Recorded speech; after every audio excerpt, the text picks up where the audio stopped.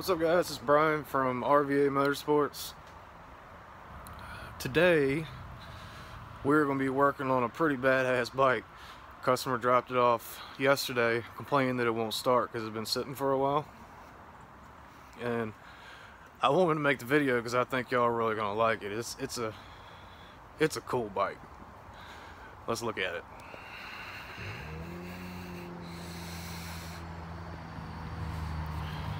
Yeah. Look at this thing, huh? Look at that windshield. Y'all ever seen a windshield like that on a scooter? I haven't. Anyway.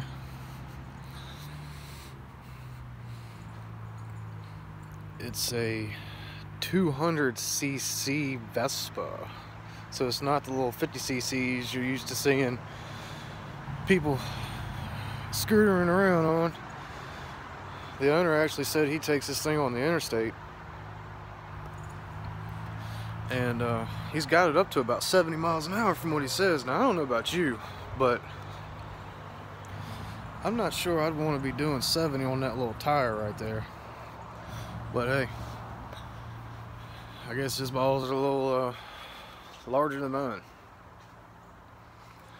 So first thing I'm gonna do, like I said, to remind you, the uh, first, I don't have zero subscribers at this point.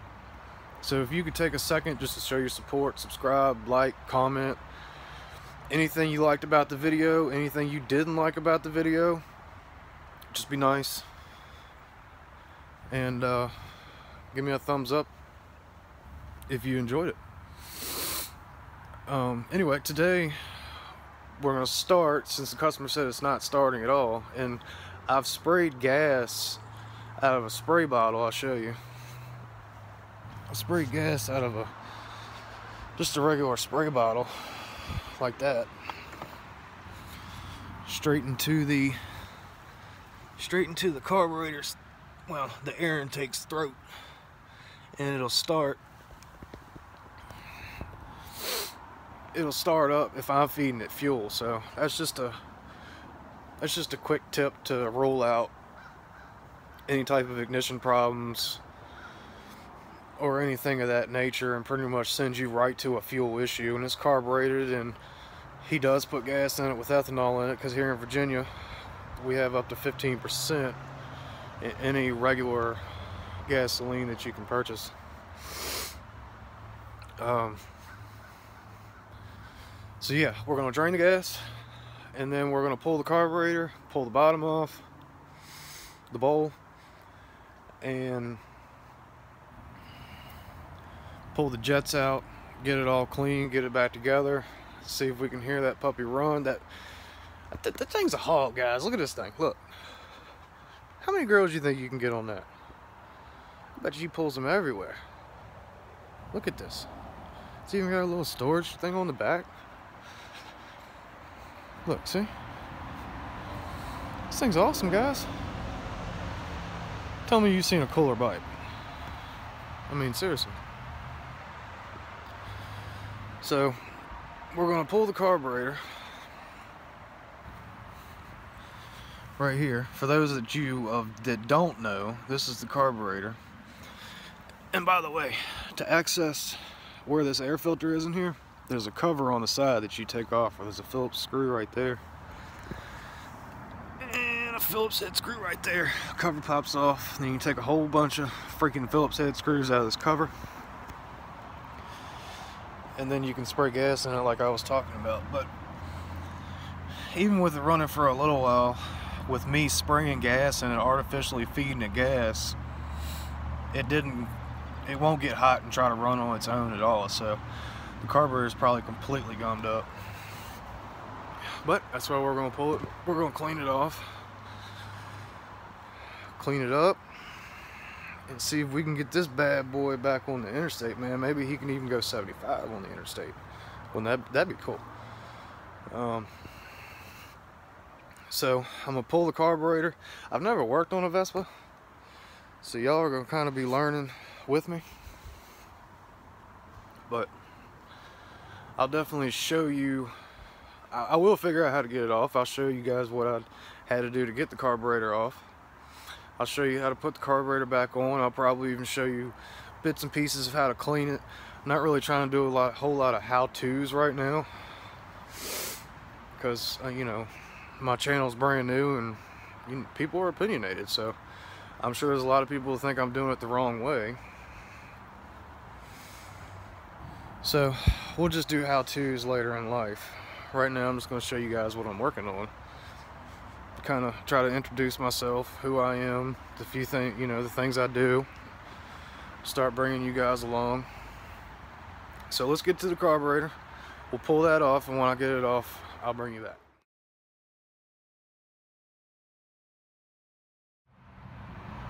Okay, so I got it back together now and it does run and what I ended up having to do was I pulled this hose clamp off here and then pulled all the screws out of this airbox. I know it's hard to see guys, I'm sorry. The sun's just coming up, it's creating a bad glare. But you take this off and that whole that whole boot and case and everything for the air filter will come off and be out your way. Then I took this hose right here loose and this one down there right here with my fingers on. It's a coolant line. And this hose right here. That one right there. The little small one. It's another coolant line. Pull that off. And I was actually able to just take the carburetor and flip it over so the bowl was facing up. Take the bowl off the carburetor and just imagine this is the bottom of the carburetor. There's three jets in here that you need to clean. There's one here, your main jet right dead in the center, and I believe there was one over in the corner that I pulled out and cleaned too. But the main jet has a 8 millimeter uh, hex to it. You put a wrench on it, and that one that one was completely stopped up and the main reason why this bike wouldn't run. And to get the gas out of it, drain the gas, I did put fresh gas in it. And to remind you, this, this thing didn't run at all when it got here. But I took this hose clamp loose right there and just popped that regulator down and it just it, it, it pours out pretty fast so make sure you got some gloves on some safety glasses and you you step back a bit and put you a pan under it it'll help if you keep the cap on. It won't rush out as fast. But that was the easiest way to get the gas out of the tank that I found. If you had like some type of vacuum system that you can put down here that would probably be a little bit safer. But that was the route I went with. Uh, I did smear a little little pudding right there. He had a crack that was starting in this neck.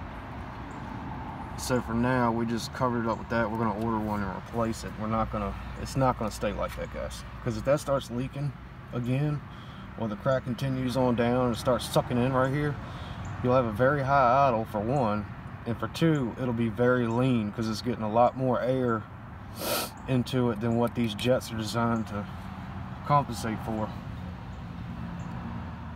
one more thing I want to show you guys is you see this tube right here was extremely brittle and it was connected to a clear hose. It looks like this. This is probably what you'll see going on to the carburetor. Right and somewhere in this region here. Well when I pulled that carburetor up to flip it up upside down like I was telling y'all I did I mean you, you can see what happened to the line I mean it's just it's just see it, there's no flexibility to that at all so I just I wanted to show you this in case you run into the same problem I do because more likely you will. There, there's a lot of heat that gets built up right here because it has this plastic tray. Right here.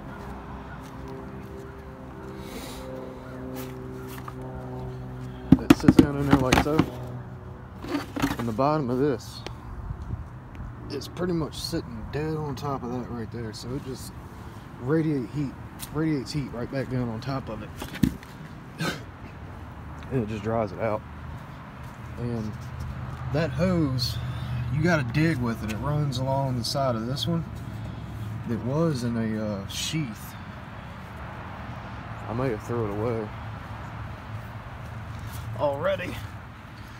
But it was in like a, a plastic loom, if you will. And it runs all the way down through a hole. And guys, there's usually a cover right here. You have to take this cover off.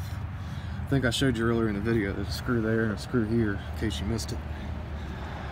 Um, but that line goes to this little box right here. I'm guessing it's some type of vacuum box or a charcoal canister or something of that nature. And it, it goes uh, let's see. There's a T in here.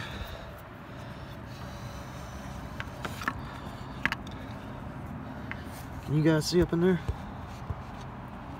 Let me see if I can get you in here. Uh, let's see. I know you can see the hose clamps. There's a nipple on it somewhere. Anyway, you gotta take my word for it. But that hose plugs into right there. This port right here is for this clear one. So I pulled this about the way so I can get access to that T that's up in there and pull it off and replace the whole line.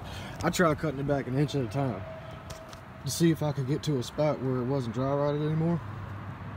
And, and it was just rock hard all the whole way, so that whole line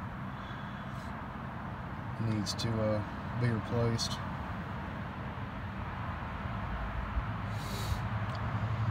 But yeah, guys, I get, that's pretty much going to wrap up this video.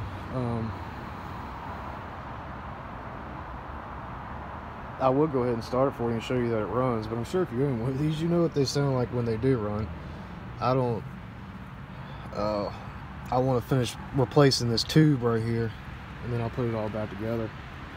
Oh, and another quick tip, it took me a second to find on this, because like I said, I don't, I don't work on scooters, but up on the dash here, there's a cover, and y'all might already know this. Some people might not. Underneath this cover right here, that's where you put your coolant in. Your battery is under this cover. And there was just like some diagnostic ports or something behind this one, I believe, if I remember right. But yeah, man. We're gonna get this hog back on the road today. We're gonna take it for a little ride. I don't know. I think it's gonna be fun. Anyway, from RVA Motorsports, this is Brian. Thanks for uh, taking the time to watch the video. Like, comment what you did like about the video. Tell me what you didn't like. Just don't be mean, you know. Um, yeah, subscribe. I mean, that's, I need all the support I can get at this point in time. And let me, let, let me know if y'all want to see a video on this car right here. I ain't long ago purchased it. It's a 2000 Honda Civic Turbo. Let me know if y'all want to see, see something about that. Alright guys, have a great day.